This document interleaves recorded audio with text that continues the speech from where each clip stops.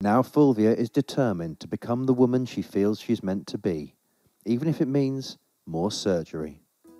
Io non mi fermo qua, voglio andare avanti nella chirurgia estetica, perché questa è imperfezione. Quando avrò raggiunto la perfezione, forse mi fermerò.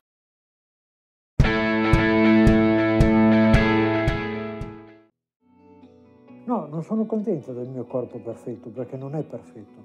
La mia perfezione è un'altra cosa. Transgender Fulvia Pellegrino has spent 80,000 euros over the last 15 years transforming her body through surgery. That's over $100,000.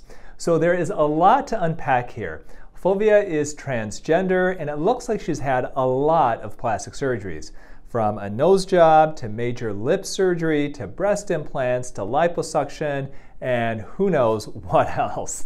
Let's keep watching. Non è una droga la chirurgia estetica, ma è un bisogno mio e, e di altre persone come me. Siccome non sono contenta del mio viso e di altre parti del corpo. All right, let's talk about her lips. Now, in order to get lips this large, she must have had a lot of procedures, starting with injections of fat and probably filler into her lips. It does appear that she's had a bullhorn upper lip lift, where skin is removed from the lower part of the nose and the upper part of the lip to lift it up. And she may have also had a mucosal advancement, where the actual mucosa is advanced to cause a lip to stick out more. Honestly, I think that Fulvia has the biggest lips I think I have ever seen.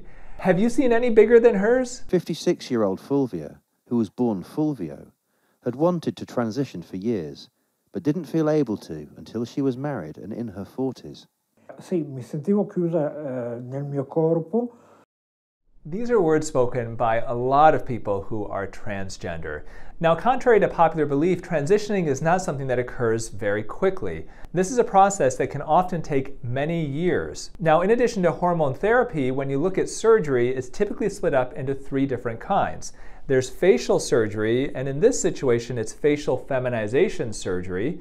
And that can involve procedures like shaving down the brow, uh, performing surgery on the jaw, as well as other operations on the face like facelifts and rhinoplasty surgery. Top surgery is plastic surgery of the breasts, where in Fulvia's case, it appears she's had a breast augmentation. And then there is bottom surgery, which is genital surgery. Allora, nel 2000 ho detto la verità a Marisa eh, sul fatto che av- avrei voluto cominciare la transizione, ma non sapevo che era così complicato.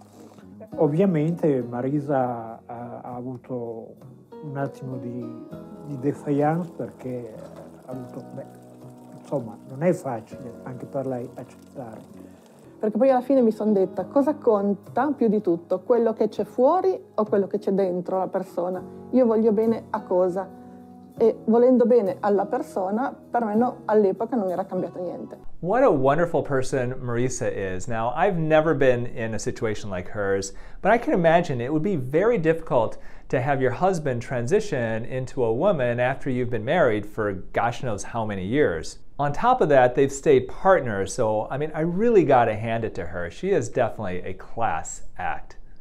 Are you like the millions of people who have a bathroom filled with half empty bottles and tubes of skincare? They may have promised to reduce your wrinkles, lighten your blemishes, and help you feel better about your skin, but none of them actually worked. Well, I've got the answer for you. It's called Youn Beauty. Youn Beauty is one of the only skincare lines that combines natural and organic ingredients with the latest and scientifically proven components like vitamin C and retinol. I'm so certain that you'll love Youn Beauty products that we offer a 30-day money-back guarantee, no questions asked. Head to younbeauty.com and use the coupon code 20OFF to get $20 off your first order over $99. I'll put a link in the caption below. Once you try Youn Beauty products, I bet you'll throw away your other skincare products and start loving your skin again. Thank you for putting your trust in me. E che io e Marisa siamo due sorelle e niente più, anche perché Marisa non è lesbica e, e non potrebbe venire a letto con me perché ho due tette, a parte che ho ancora gli attributi maschili, ma con la terapia ormonale sono andati in pensione. Not everybody who transitions from male to female undergoes bottom surgery. In fact, the statistics show only about 10% of transgender women undergo this operation. So, although she spent over $100,000 on plastic and reconstructive surgery, this does not appear to be one of those operations that she's had, at least not yet.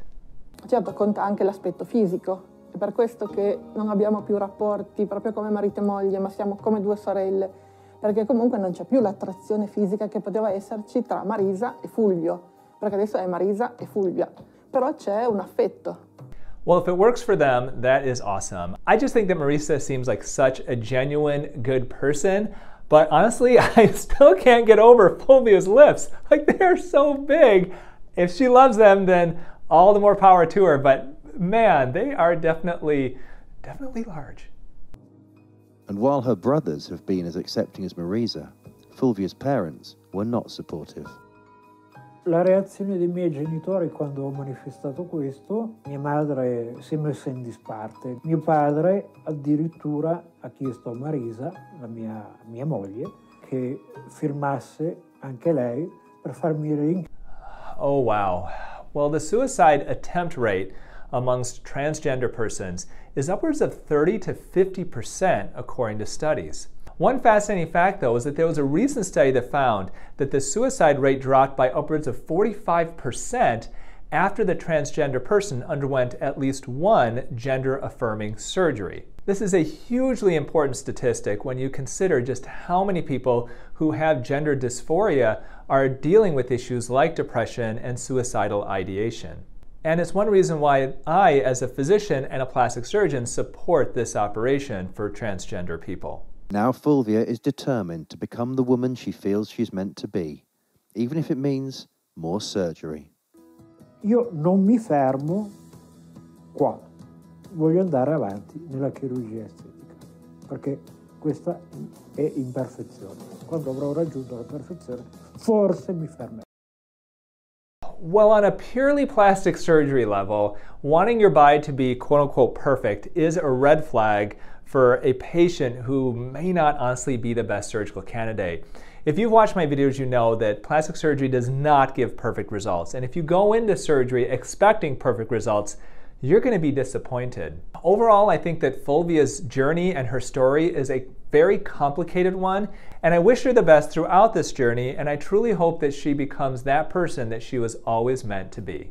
Now, I mentioned earlier in this video that there are different types of gender affirming surgery, from facial surgery to top surgery to bottom surgery. I recently reacted to a video of a young man who underwent top surgery that truly changed his life. If you'd like a more in depth look at what happens when a transgender man undergoes top surgery, take a peek at this video right up here. Not only may you find it educational, but you also hopefully will find it really heartwarming and endearing. And remember, eat real food, use clean skincare, and only consider actual plastic surgery as a last resort.